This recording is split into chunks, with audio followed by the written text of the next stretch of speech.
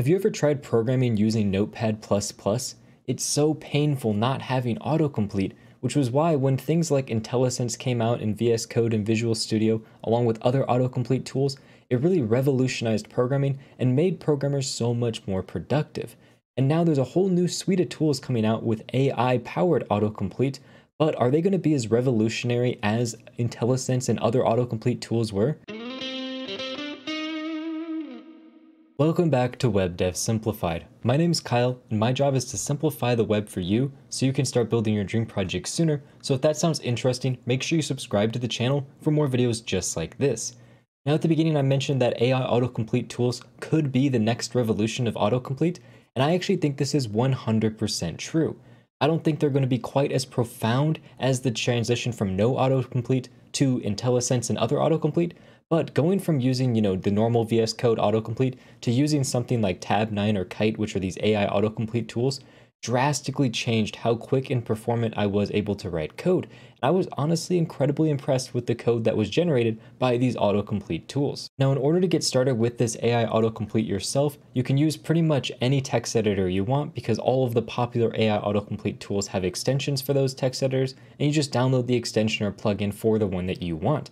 And in my opinion, I would recommend using Tabnine as your AI autocomplete tool, and they are actually the sponsor of this video. But I'm not just recommending them because they are the sponsor of this video. I've worked with multiple of the different AI autocomplete tools out there. I've had multiple of them reach out to sponsor videos for me, but of them all, Tabnine was the one that I found to be the most versatile and the most accurate with its completions, which really sped up my productivity, while some of the other solutions just weren't as good in my opinion, which is why I'm working with Tabnine on this video, they're sponsoring it, and why I recommend using Tabnine if you're gonna go with an AI autocomplete tool. Also, it's important for me to say that there are some cons to these AI autocomplete tools, which I'm gonna cover at the end of the video, so it's not all 100% positive, but more often than not, these cons aren't actually a problem for most people. Now, the first thing I want to talk about is if you ever have used or seen these in use, you may be really amazed with some of the suggestions they come up with. It seems like it's almost able to read your mind and write down exactly what you would write down as a suggestion. So it kind of knows what you want to write no matter what.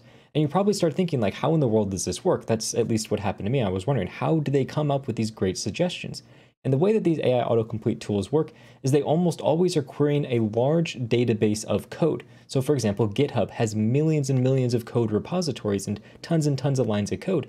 And what happens is these tools, they train on some of the best code on these platforms. So they go to public GitHub repositories, good high quality public GitHub repositories for that matter, and they go through and they read the code and they look at the code and they analyze the code, this AI, and it's learning what all of the different patterns in these codes are, best practices, and so on. And it's then using all of that knowledge that it learned to help you write your code. So it may see that if you write out some JavaScript where you're selecting JavaScript objects using document.querySelector based on data attributes, so for example, you have an element container variable and you're getting that from a element that has the attribute data element container on it. Then let's say that you're going down to the next line and you're creating a new variable called field input and then it may automatically add the rest of the code for you that says, hey, document.querySelector data field input. It says, is this what you meant? And you're like, well, of course that's what I meant because that's the pattern you're doing in your code. And it's a pattern a lot of other people use in their code as well. So it's going to see that and automatically do that for you. And that's one other thing that's important to know about these AIs is they actually learn from you as well as from these millions and millions of lines of code they learned on. And that's because they're taking all of the code you write and analyzing that as well and trying to figure out what patterns specifically your code falls into. That way, as you use these more and more, they're going to learn off of your coding style and start giving you even more accurate suggestions than when you first downloaded the extension. This is where I really think that these tools shine because unlike your normal VS Code IntelliSense that autocompletes variable names and function names and so on, these tools actually go the next step and they autocomplete full lines or things that aren't even related to any of the rest of your code based on, you know, variable and function names. And instead they just infer this knowledge from the millions of lines of code that they've studied on. And that's what really makes them so powerful because it can predict things that normal IntelliSense and other autocompletes just can't do. Another important thing to note about these autocomplete tools is that they're very specifically based on the code that they train on. So some autocomplete tools may only train on one single language. It may be a JavaScript only autocomplete tool or Python only autocomplete tool, and they train on only that one language, so you can only really use the autocomplete with that one particular language. Other autocomplete tools like Tabnine, for example, they're going to go through and scan multiple different types of languages so they can be used across many different languages of programming instead of just one or the other.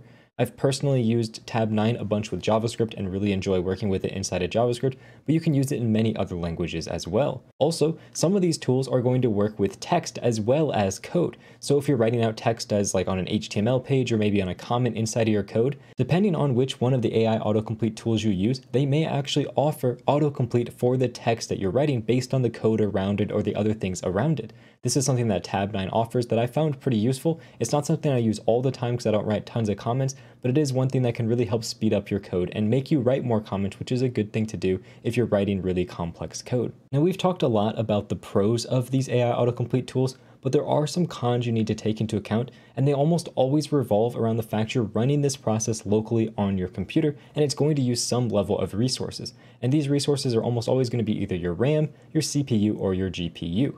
When it comes specifically to Tabnine, which is the one that I use the most because I enjoy it the most, I notice RAM usage is not really that big of a deal. GPU usage, again, not really a big deal, but there is some CPU usage that you have to take into account. For the most part, it's not going to be an issue. I have a 5 or 6 year old computer, and when I'm just coding along using Tabnine, I notice no issues. But if I tack onto it recording video, which is an incredibly CPU intensive operation, then I do notice some performance hits with my CPU, but it's so minor it really isn't a big deal, and most people aren't out there recording programming tutorials on a 5 or 6 year old computer, so really it's nothing you have to worry about. Also, another reason this really isn't that big of a deal is because pretty much every AI autocomplete tool has the ability for you to run these AI autocompletions in the cloud. So essentially some other computer or server somewhere is running these calculations for you, so it frees up all of that space on your CPU, GPU, and your RAM.